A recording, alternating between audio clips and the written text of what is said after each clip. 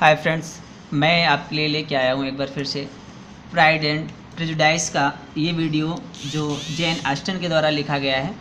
इस वीडियो में देखते हैं दोस्तों कि सबसे पहले बात कर लें जैन आस्टन के बारे में। तो इनका जो ये बॉर्न हुए थे 16 दिसंबर 1775 को स्टेवन टेन रेक्ट्री हेम्पशायर में इंग्लैंड में और डाइड हुए थे ये 18 जुलाई 1817 को। जब ये 41 ईयर्स के थे, तब इनकी डेथ हो गई थी। विंचेस्टर में हेम्पशायर इंग्लैंड में। इनका जो वर्किंग पीरियड है 1787 से 1809 इसके बाद 11 अब देखते हैं दोस्तों इसमें, ये जो प्राइड एंड प्रेजुडाइस नाटक है, ये पब्लिश हुआ था 28 जनवरी 1813 को। 1813 को ये पब्लिश हुआ था। इस नाटक में दोस्तों ज़्यादा कुछ नहीं है, खास, लेकिन अगर आप ध्यान से देखेंगे इनके पार्ट्स का, इनके बारे में सुनेंगे तो इसमें से पाँच बहनों की कहानियाँ हैं, जिनका विवाह होता है, और उनमें से इस, इसमें जो थ्री सिस्टर्स हैं, पहले उन्हीं के बारे में बताया गया है। उन्हीं के बारे में पूरी कहानी इर्द गिर्द घूमती रहती है। जिसका जो मेन करेक्टर्स है वह है एलिजाबेथ एलिजाबेथ के बारे में कहानी है। तो देखते हैं दोस्तों। यह उपन्यास प्रेम और विवाह के सबसे महत्वपूर्ण विषयों में से एक है, जिसका मुख्य आकर्षण नायिकाओं का शादी करना है, जो हीरोइंस है इसकी, उनकी, क्योंकि उनके लिए जीवन एक विवाह समारोह है। इस उपन्यास में पाँच बहनों की कहानी है। करेक्टर्स की बात करें तो मिस्टर डार्सी हैं, एलिजाबेथ, जो सबसे ज़्यादा इंपॉर्टेंट हीरोइन है इसकी, एलिजाबेथ बेनेट, ये बेनेट फैमिलीज़ की हैं, जो पाँच सिस्टर्स हैं। Is the protagonist in the eighteen thirteen Elizabeth is the second child in the family of life daughters five daughters की जो फैमिली थी, उसकी सेकेंड चाइल्ड थी ये। इसके बाद mister Williams Collin he is the cousin of mister Bennet Charles Bingley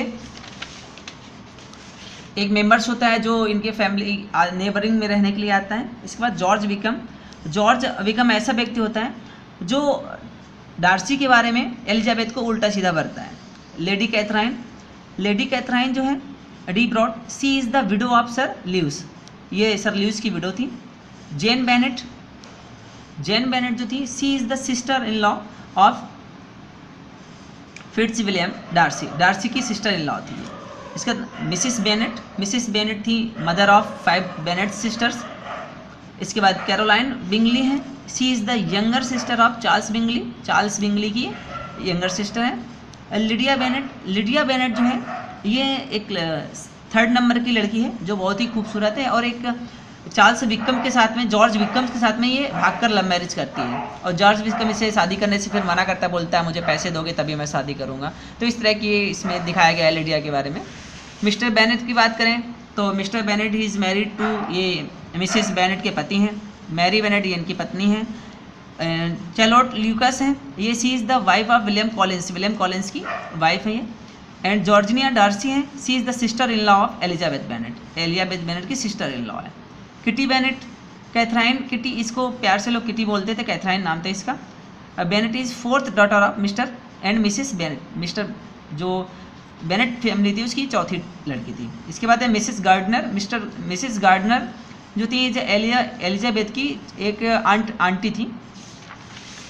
इसके बाद देखते हैं दोस्तों इसकी समरी अब इसमें क्या होता है ये समरी में?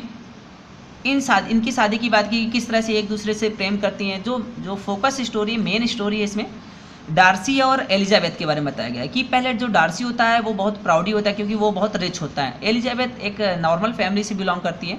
इस वजह से तो जब एक, पार्टी में गए हुए होते हैं तो डार्सी वो बोलता है कि इसके साथ में डांस कर लो। डार्सी उसको बोलता है कि यार ये तो नॉर्मल फैमिली से बिलोंग करती है मैं इसके साथ कैसे डांस कर सकता हूँ? तो ये एलिजाबेथ ऐसा सुन लेती है।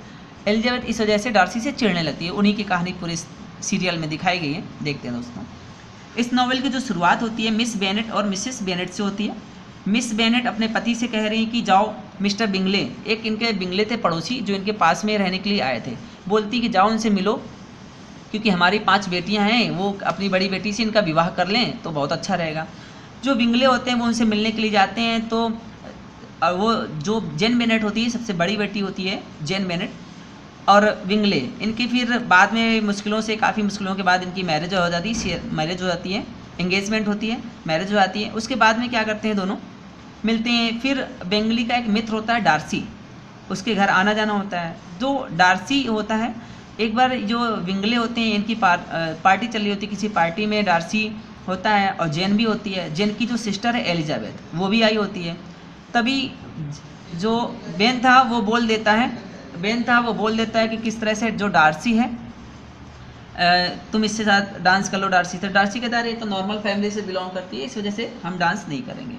तो यही इसमें दिखाया गया है। इसके बाद जो एलिजाबेथ होती है, एलिजाबेथ काफ़ी भाव खाने लगती है, फिर वो डार्सी से बोलती नहीं। फिर डार्सी बोलता है, ठीक है, सॉरी, हम तुम्हारे पत्र लिखते हैं, मुझे माफ़ कर दो, जैसा तुम सोचती हो ऐसा मैं नहीं हूँ। क्योंकि इसके, एलिजाबेथ के को जो विकम था, उसने डार्सी के बारे में भर दिया था।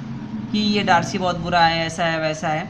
तो विकम एलिजाबेथ से मिलता है और उसे डार्सी के बारे में बड़ा चढ़ा कर बातें बता देता है उल्टा सीधा, जिसकी वजह से एलिजाबेथ दूसरे डार्सी से अच्छे से बात नहीं करती है। जब डार्सी को पता चलता है कि मिस्टर विक्रम मेरे बारे में एलिजाबेथ को भरा है तो क्या करते हैं?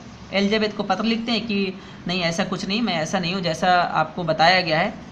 फिर एक बार इनकी जो फैमिली होती है, जो अब बात करते जब इनकी सिस्टर विक्रम के साथ में भाग जाती है तो विक्रम क्या करता है? बोलता है कि मैं इस, तभी तुमसे बात करूँ, इंग्लैंड में रहती है एक साल, शादी लेकिन नहीं करता है वो लिव इन फैमिली में ऐसे ही रहते हैं लिव इन रिलेशनशिप में। बोलता है, मुझे पैसे दोगी, तुम्हारे पेरेंट्स पैसे देंगे, तभी मैं तुमसे शादी करूँगा। जो बेनेट फैमिली की थर्ड चाइल्ड होती है तो उनके पास पैसे नहीं होते हैं। तो डार्सी जो होता है, वो बहुत बड़ा रिच आदमी होता है, वो उसको पैसे दे देता है और उनकी प्रॉब्लम को सॉल्व कर देता है। तो एलिजाबेथ के दिल में डार्सी के लिए ना, प्रेम जाग जाता है और उन दोनों का अफेयर्स होता है। फिर प्यार करने लगते हैं एक दूसरे से, उसके बाद इनकी शादी हो जाती है। किस तो इस लास्ट उपन्यास के अंत में यही दिखाया गया है कि किस तरह से डार्सी और एलिजाबेथ की शादी खुशी खुशी हो जाती है और सभी लोग प्रसन्न हो जाते हैं। तो दोस्तों, अगर मेरा वीडियो अच्छा लगा तो लाइक करना और मेरे चैनल को सब्सक्राइब करना। Thanks a lot